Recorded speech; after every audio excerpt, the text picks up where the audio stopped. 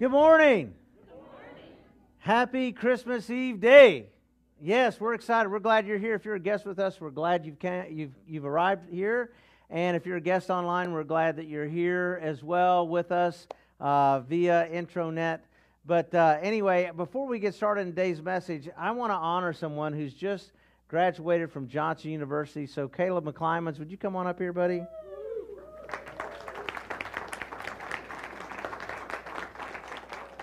So, Caleb grew up at Camp Pitt, but he also grew up in this church. And Caleb, tell us a little bit about uh, about where you're headed.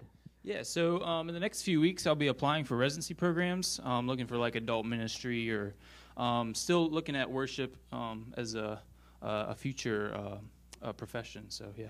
Yeah. Well, Caleb, we are uh, we're proud of you, buddy. You. It's not easy, yeah. and uh, we're real excited that you're headed into ministry. Yep. And if the world needs anything, it needs people to explain the gospel to people. So, man, can we give it up for Caleb? Thank you, man.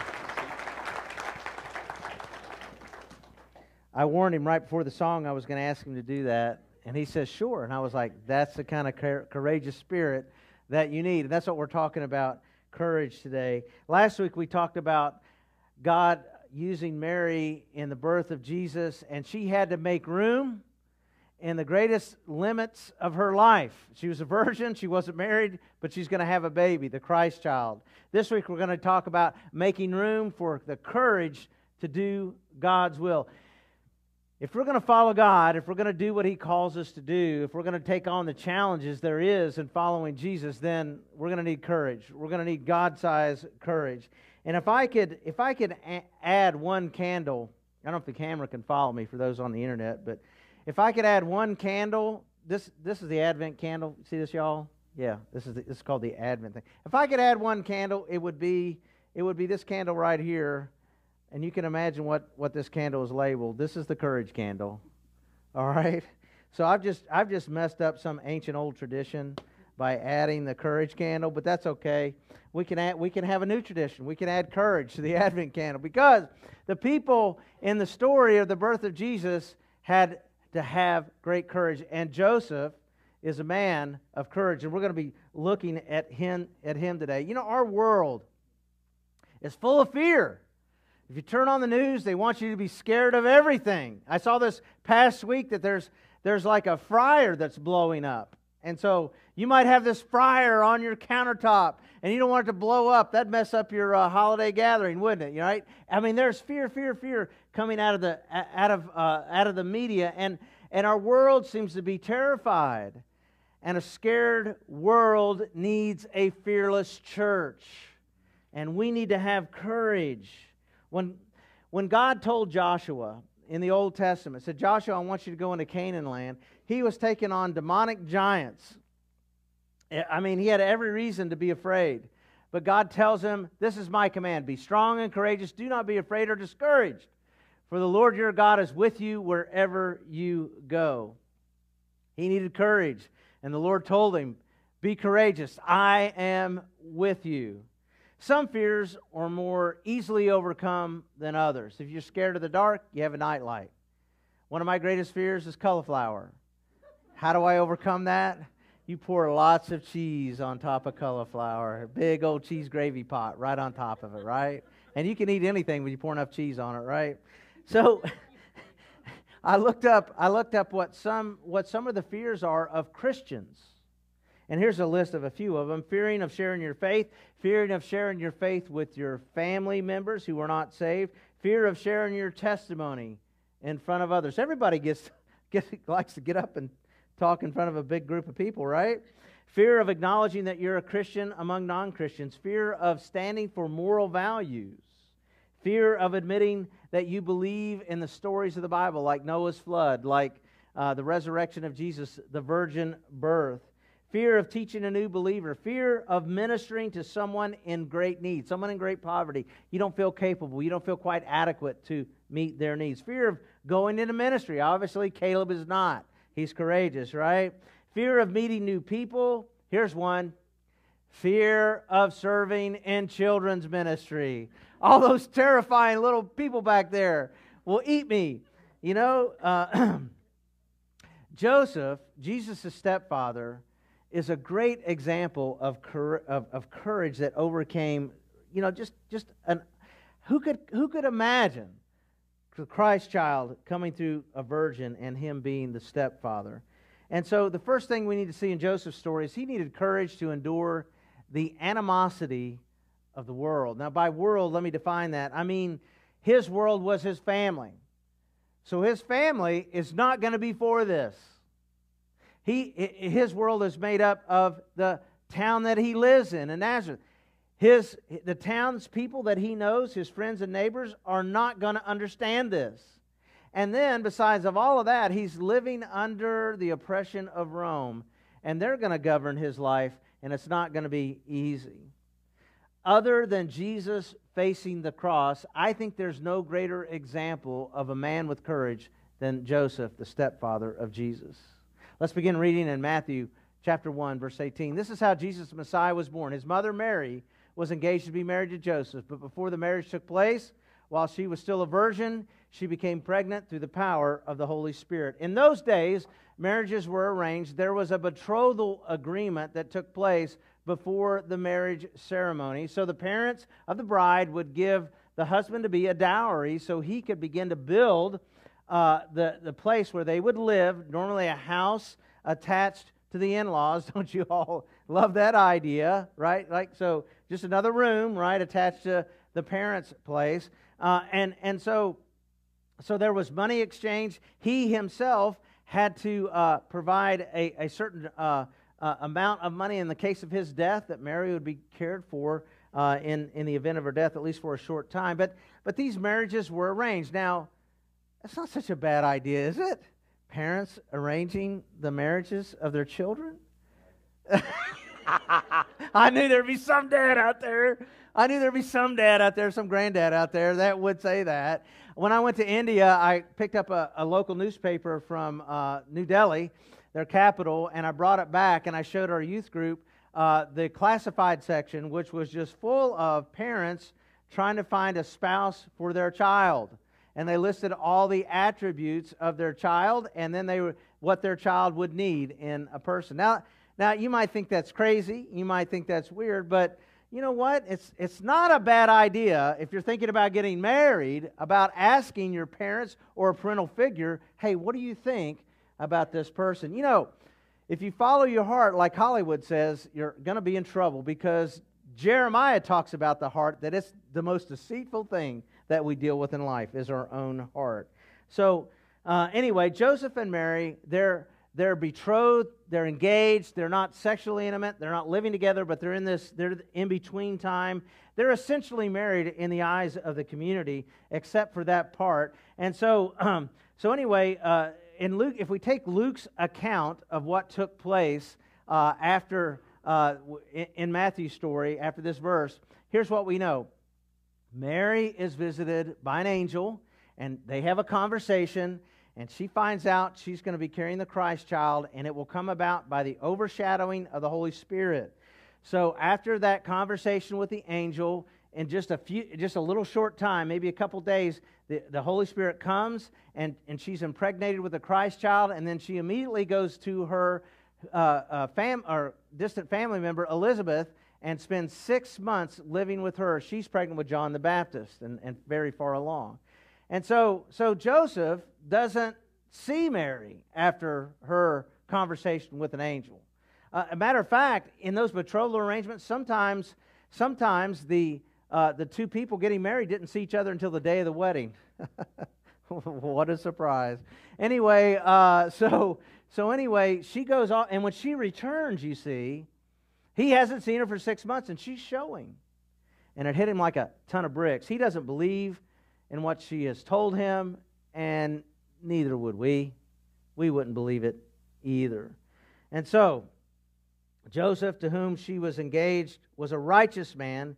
He did not want to disgrace her publicly, so he decided to break the engagement quietly. Only by legal decree could the engagement be broken. And she coming back pregnant, in the Old Testament law, there is the allowance of stoning her to death for her unfaithfulness to him.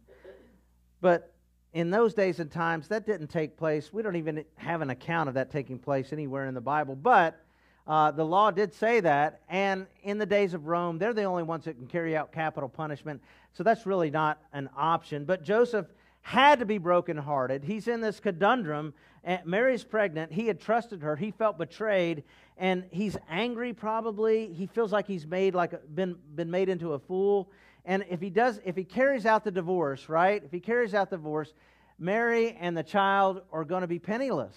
They're going to be outcast. But if he decides to marry her, his his integrity is going is going to be uh, going to be destroyed. But Joseph is the unsung hero of the Christmas story. It says that he was a righteous man. He wasn't a legalist, but he was righteous. Joseph was a man who lived according to the law, but not for the law. Joseph was a man that many people looked up to. And I think Jesus looked up to Joseph as well. So when Joseph saw Mary, he didn't believe it, and we wouldn't have either. He considered what he must do. He considered this, the scriptures say. Joseph's between a rock and a hard place. If Joseph stays with Mary, his reputation is going to go to the tank. Uh, he, he, he's not going to be able to do work in that community because he's, he's a man of, of no integrity, because he's, he's done this or he's allowed this to happen to him. His financial future is at stake. His admittance into the synagogue is not going to happen if he takes this bride Mary with baby into his life. He'll be forever labeled as weak by those who know him best. If he rejects Mary, she is going to be uh, living in poverty. He's going to be seen as a, as a despicable man by some because he's impregnated her and then he's abandoned her. That doesn't happen anymore. Uh, Joseph listened to uh, not not to not to reason, but really to his heart.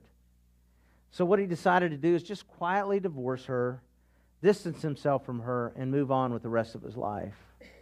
As he considered this, can you imagine what Joseph was going through? As he considered this, the angel of the Lord appeared to him in a dream. Joseph, son of David, the angel said, Do not be afraid to take Mary as your wife, for the child within her was conceived by the Holy Spirit. The angel of the Lord comes to him in a dream. Mary gets a conversation. Joseph gets a dream, okay? But in this dream, the angel comes to him and says, Joseph, you know what your problem is? Fear. That's your problem, Joseph. I mean, this is a gut shot. This is a heart check for him. He doesn't, he doesn't think it's fear. He's just trying to work out what the best thing is, but it's really fear that, he's, that, that, that is distressing him so much. You know, fear will cause us to make terrible decisions in life Listen, fear can be used to rationalize disobedience. Fear can be a convenient pretext for noncompliance to God's will. Here's what it sounds like I'm too scared to speak up, so I'll just keep my mouth shut. I'll never do this again because I failed so miserably the first time. I don't want to get embarrassed in front of a bunch of people at church getting baptized. Oh, I've heard that one. Don't let fear cause you to rationalize disobedience. Some people say, you know, I can't start tithing because money's tight. Don't let fear get in the way of being obedient to God. Fear can be used for a convenient justification for inaction rather than taking the more challenging path of doing the right thing. I am a card carrying member of the People Pleaser Association of the United States. I've been president sometimes. So that's my wife. And there have been times that I have not done the right thing or said the right thing because I was afraid of what people might think. Can I get a witness, or I'm the only joker in the room, right? I mean, not all of you struggle with that. Some of you need to struggle a little bit with that because you should just say everything that's on your mind. yeah, there's some heads. I'm not going to call out names because we're online. But anyway, my point is like we can't allow our the our fear of what others think govern us making decisions and following God. We cannot be afraid of what people will think. But you know, here's the thing. Obedience is not the easy path. It wasn't for Joseph. I mean, you know, disobedience isn't easy, but obedience isn't really any easier. We must say to ourselves, fear won't govern my decisions. You know, fearing what the world thinks will cause us to forfeit God's blessings and plans for us. Let me say that again. Fear of what others think will cause us to forfeit God's blessings for us. Now, as I've already said, Joseph's decision to obey God will cause him to receive the animosity of the world around him for the rest of his life. And so, Joseph's going to be haunted by this pregnancy, and so will Mary, and so will Jesus. It's going to impugn Joseph's business dealings. It, it, his, his integrity is always going to be suspect because of this pregnancy. It so will be for Mary. Mary and Joseph are not invited to the Christmas Eve party. No, they're not, because that's just weird. Here's this woman at a wedding, you know, like we know the story, okay? But it also impugns uh, this pregnancy will, will overshadow Jesus' life. Do you remember that time that Jesus is talking to some Jews that are opposed to him, and they say, We know who our Father is, who is yours.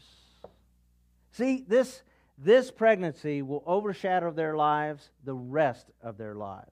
Obedience is not any easier than disobedience, but it does come with God's blessing and reward. Now, we need to go back to Matthew 120 because God supplies what Joseph needs for courage. Listen again.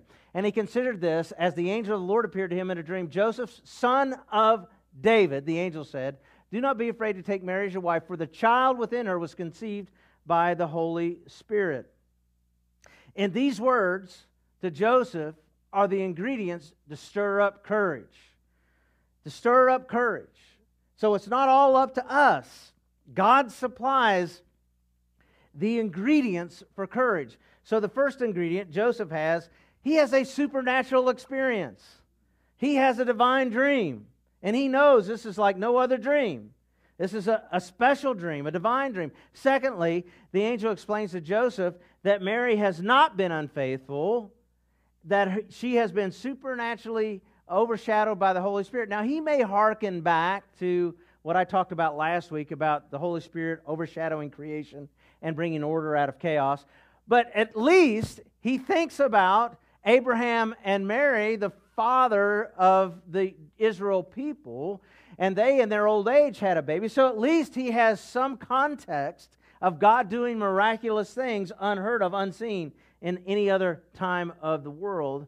And then thirdly, the angel reminds Joseph of his messianic lineage. See that? Joseph son of David. Do you see that? He's the angel's reminding Joseph, you've been part of the messianic plan before you were born. God had a plan in a man, and you're part of this plan. And, and Messiah is going to come through your lineage. Mary's from the house of David. So, so this, this history, this genealogy, you know, ancestry.com, you know, okay, here it is. I'm part of it, right? And so, uh, uh, so, so, so Joseph has the ingredients. He's got to stir it up, but it's all there for him. Now, God's unfailing plan to redeem his people is going to happen. God supplies the ingredients for courage to do his will. Three things Joseph received supernatural experience, the history of God doing the impossible, and God's unfailing plan to redeem his people. And you know what? You've gotten the same ingredients too. When you walk into this room on Sunday and the Holy Spirit has, has come into this place because we have gathered in the name of Jesus. If you're open to it, if you've been praying for it, if you've been preparing for it, God will stir your heart, and then He's stirring the hearts of everyone else. And when I come here on Sunday, my heart is stirred because not only because of God's Spirit, but because y'all's Spirit, Ewan's Spirit, right? East Tennessee. Ewan's and Ussens and the Holy Spirit. it, we have a supernatural experience. Have you not had this experience where you've missed church for some reason? Some legitimate reason? I don't know what they are, but there's some legitimate reason you miss church, okay? I'm just joking here. Hey, you can laugh. Don't be afraid. and you go, you say to yourself about Tuesday, man, I really miss church. I've had that. What's going on there? When we come together, God is encouraging and strengthening us. The second thing, God's history of doing the impossible. Yeah, He's done the impossible in the Bible, but He's done it right here amongst us. So Kim and Candy walked out of Satan's jaws of cancer, right? There have been people here who contemplated suicide who have not because the Holy Spirit had entered their life and believers entered their life to guide them out of that mess. There are marriages that were headed to divorce court. I mean, the papers were drawn up, but they're still together and they're thriving. They're flourishing as a couple because we've seen miraculous things happening right here. And then God's unfailing plan to redeem his people. I'm going to give you the best commentary on the whole Bible in two words. You ready for it? You might want to write it down. Here it is. Ready? Here it is. We win. We win. God's people win. I don't care what's happening in the world, what's happening in our life. I mean, I care. I mean, it's not that I don't care. Let me rephrase that. There are terrible things happening in the world, but we still win we win. There's a new heaven, there's a new earth. One of the reasons that we get go sad mad is because we're not contemplating the present reality of the Holy Spirit living in us, making us victorious. Uh, we need to think about who we are, who we belong to, and that we have a promised future that outshines anything that we could come up with on our, on our own.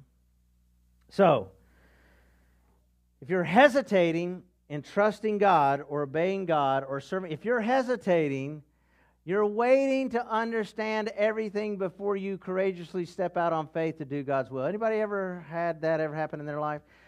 You know, if I just understand, I had a friend tell me one time, you know, if I just, if God would just meet me halfway, and I said, He walked to the cross. What else do you want Him to do? Right? Think about it. You don't, when you when you walk into a room, most of you don't understand how electricity works. Now there are a few in here that are scientists like Jim and others, and they could tell you how the electrons move and all that kind of stuff. But most of us don't. But we have faith that when we move the switch up, the lights come on, right? We we don't understand all kinds of things in life, but we still ha- trust that they are going to work. And so we don't have to understand everything to know what God's will is in our life. Sometimes, for me, God's will has been overwhelmingly understood and I knew exactly what to do. And other times I prayed and I prayed and I prayed, and you know what? God didn't say a word. And later on, I began to think about it. Well, I'm created in the image of God. I've got a Bible. I, have got people around me who are godly. I think God's looking at me and going, Look, bro, I've given you all the tools to make a decision. Make a decision. Whatever you decide, I can work with it. Because my ability to work in your life is not based on your good decision making. is anybody with me on that? You don't have to make a great decision to God to work through it. Look at the Bible. I mean, it's full of people who are knuckleheads, and God still uses them. So recognize the Holy Spirit is working in your life. Trust and obey Him. Somebody might be having a Jesus moment this morning, I mean, a Joseph moment this morning. Well, they know God wants them to do something, but they've been on the fence. And I'm just telling you right now, obedience takes courage. Matthew 121, and she will have a son, and you are to name him Jesus, for he will save his people from their sins. In the day that Jesus lived, names were significant. Jesus is the Greek form of the word Joshua which means God saves. And God the Father gave Jesus the Son the name, the Lord saves. You know, in our times, in our day and times, baby names are chosen mostly because of popularity. So I looked it up 2023, the most popular boy name, Liam. Obviously, they haven't seen his movies. And I, I heard something really funny. Liam Neeson uh, being Santa Claus. I know where you sleep. I know what you've done. I mean, Liam, really? The second most, uh, uh, or no, the, the most popular girl's name, Olivia. And so, you know, Liam and Olivia are in, Edna and Elmer are out, right? Think about it. And, you know, Bob and Marie are good names, but you don't hear those much anymore. And it just further evidence of the decline of our civilization, okay? but the Jews to- chose names for more than just popular appeal. okay? So Moses, his name means drawn out of the water. Moses was drawn out of the Nile River. Sometimes names were chosen because of a parent's faith. Hannah, who was barren, didn't have a child, prayed earnestly for a child. Samuel was born, and Samuel's name means asked of God. She was asking God, making prayers to God for a child. God supplied it. The name John means God is gracious. Sometimes people were chose names in the Bible because of purpose. So Abram's name was changed to Abraham, which means father of nations. God chose Jesus' name because he has a desire to save the world. Listen to me. If you don't understand this or believe this, God has not come here to destroy this world. God has entered our atmosphere, He's entered into our lives to save us. By obeying Him, He is saving you. He wants to spare us from the consequences of sin. He wants to redeem us from the, from, from the fall of man. He wants to have a relationship with us in the Garden of Eden. God wants you to be his family. And so Joseph, he was obedient. He didn't choose the name. That's a big deal. I mean, even to today, like choosing the name is a big deal, right? If, when you have a child, like who's going to choose the name? It's a big deal. But in that day, it was even a bigger deal because the father is naming his child. Joseph doesn't get that privilege. That's ta- that God does that. But you know what Joseph does do? He remains the provider, the protector, and the mentor for Jesus as he grew up. So my my thinking is when Jesus began talking about the Father in heaven, it wasn't very hard for him because he had an earthly stepfather who did the right thing. You know, I, I, was just encouraging Andy today as we saw Kylie's baptism, and and I was just I was just trying to encourage him like this is dads lead your family to Christ. It's the biggest blessing you'll ever be give to them, and it's the biggest blessing your family will ever receive. So, obedience to God builds courage. Courage could be, or could be defined as grace under the pressure of obedience.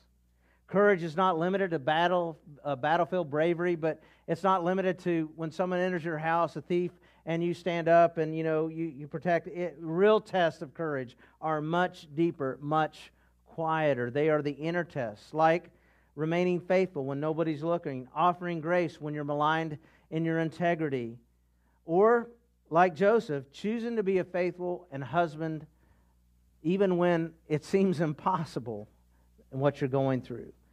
When Joseph woke, he did as the angel of the Lord commanded and took Mary as his wife.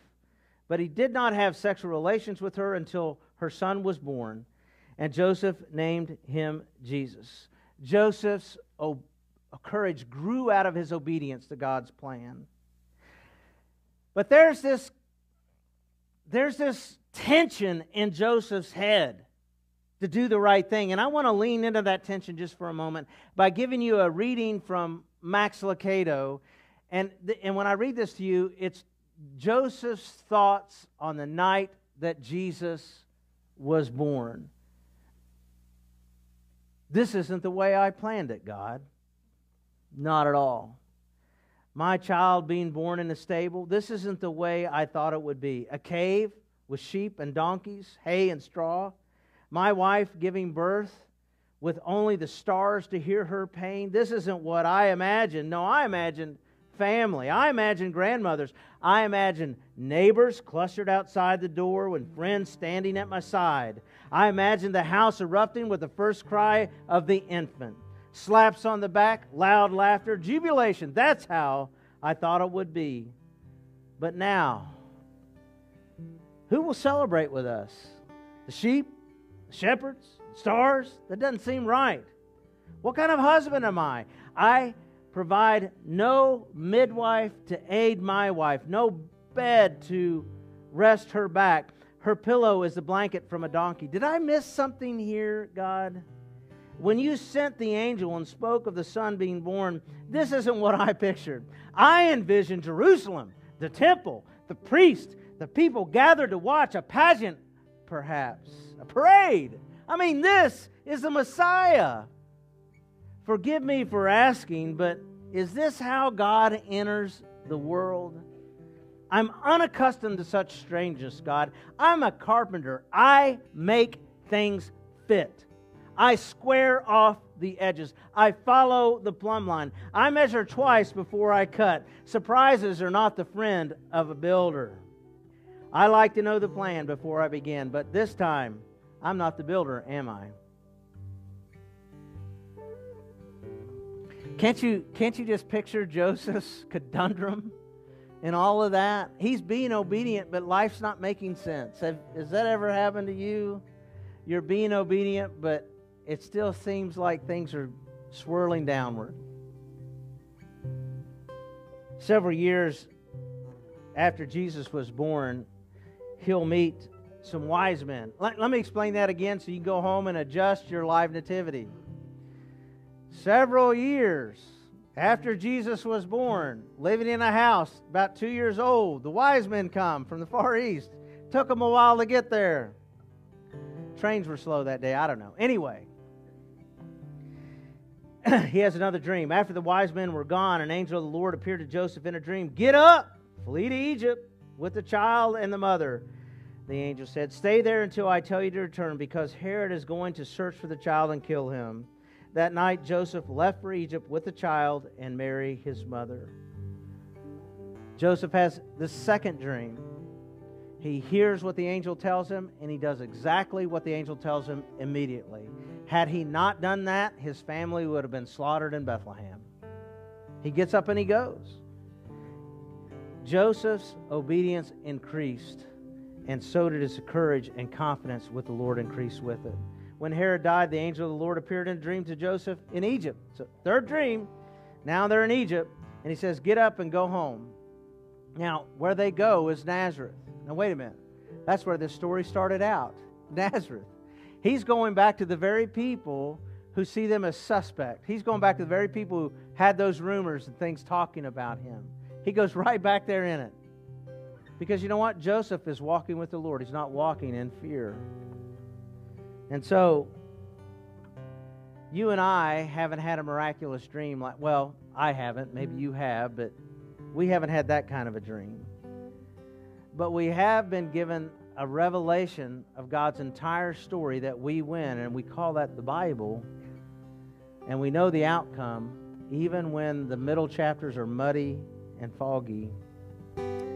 We see so many examples, so many promises of God, of people following God courageously.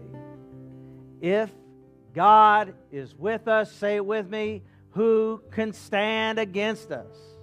We win, folks. All this occurred to fulfill the Lord's message through the prophet. Look, the virgin will conceive a child, and she will give birth to a son, and they will call him Emmanuel, which means, say with me, God is with us. He's with us. The primary reason that Christians doubt and fear is because they don't know this present reality that God is with us. And so, our future outcome is secured by this present reality. God is with us. If you have not made room in your heart to receive Christ, today is the day. You've already witnessed one young lady who decided today is the day. I want to be baptized today. Jesus was born, so I never forget it. I think that's just awesome. Today could be your day. We have a supersonic sin filter on our baptistry. Look, I'm not joking. If God if God is pushing, if you know I need to do something to get right with God, today is the day. But it takes courage, doesn't it? It takes courage to come to God. So many times, I, Christians, I'm not talking about non Christians, I'm talking about people who've gone to church, but then they've gone back in the darkness. People like me, people who grew up in Christ, but then walk straight back into the darkness. And sometimes we wonder, as I wondered, will God accept me back? Let me tell you something. Our God is a gracious God, and He tells a bunch of stories. My favorite, the prodigal, of a son who walked away from the Father, but returned back to the Father, and the Father welcomed him back. It takes courage to come to God. Listen, I've given you the ingredients of courage. You just got to stir it up and come to Him. Today's the day of salvation. Let's stand and worship. I'll be right down here if you want to talk about your decision to follow God.